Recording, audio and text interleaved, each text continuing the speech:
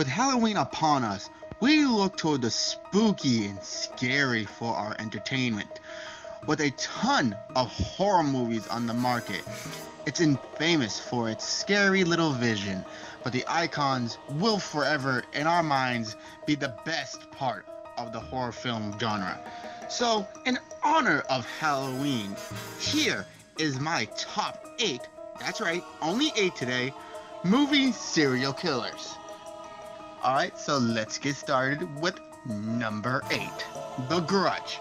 Now, I'm gonna cheat a bit here, and if you know me, I'm gonna cheat a lot more on this list. The Grudge came out on October 22nd, 2004.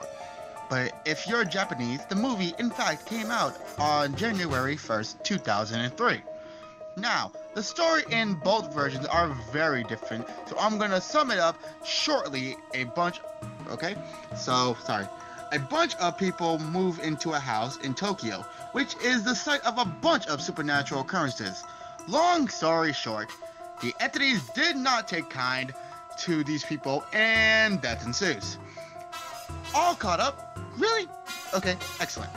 Now, what lands them on the list is the way they, quote, kill and their presence in the movie.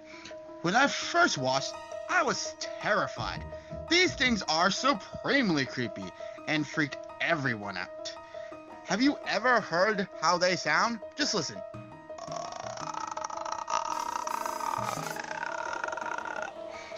Did you hear that? That's menacing. Now, for the killing part. Nobody truly knows how the grudge actually kills their victims, or if they don't kill them, then what do they do with them? But what is the creepiest thing of all is the house actually exists. You see that? Now that is a horror. Alright, number seven, Chucky. Chucky first slashed his way onto screens in Child's Play back in November 9th, 1988. Chucky was a criminal who put his life force into a child's doll using black magic. Now, I don't truly understand why Chucky is scary. I thought that there was a huge pothole where people could have, oh, I don't know, maybe football punch his ass over a building, but I digress. This killer doll haunted kids to which of their toys are gonna come to life. If that doesn't haunt people, I don't know then. Going to number six, Leatherface. Now, back in 1974, on October 1st, the very first iteration of the Texas Chainsaw Massacre was released to the public. The movie depicted a chainsaw wielding psycho that wears the face of other people. Can you say identity theft? Leatherface, besides his creepy need to wear others' faces, he hangs his victims with hooks and cuts them in half with a chainsaw. Hey, that's fucking horrifying. Number 5. Michael Myers. Let's see. Stalker? Check. Murderer? Check. We got a recipe for a cycle here. Michael Myers first came into homes in the movie Halloween on October 25th, 1978. Believe me, at first I was skeptical at Myers, and then he started breaking walls and people. To cover his face, he stole a generic Halloween mask to wear. I don't believe we ever saw his face or ever will. But the thing is, sure iconic. Going with number four, Samara, The Ring. So, how attached are you to your TV? Really close? Well then, I don't think you want to watch the tape, because if you do, she will find you in seven days and murder you. Now, this movie came out on to screens on October 18th, 2002, and Samara, as I believe, is an entity that was murdered as a young girl and her body was dumped down the well. Now, don't go getting sympathetic on me. This girl was mental. She uses the tape to get to her victims. Now try watching the tape. It's up fully online right now. I just wouldn't go near your TV for several days. That's a warning to you guys. Number 3. Freddy Krueger. When you think movie horror killers, One of the first monsters to come to mind is indeed Mr. Krueger. Coming on two films on November 9, 1984, Freddy easily showed us what a killer can do with smarts, killing people in not only horrific but also funny ways.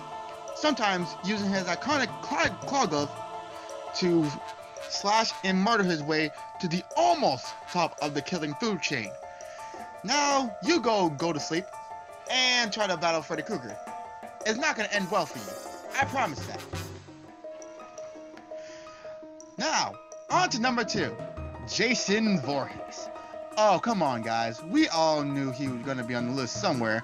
I knew he doesn't rank very high, but he's higher than Freddy Krueger. Come on, we gotta admit it.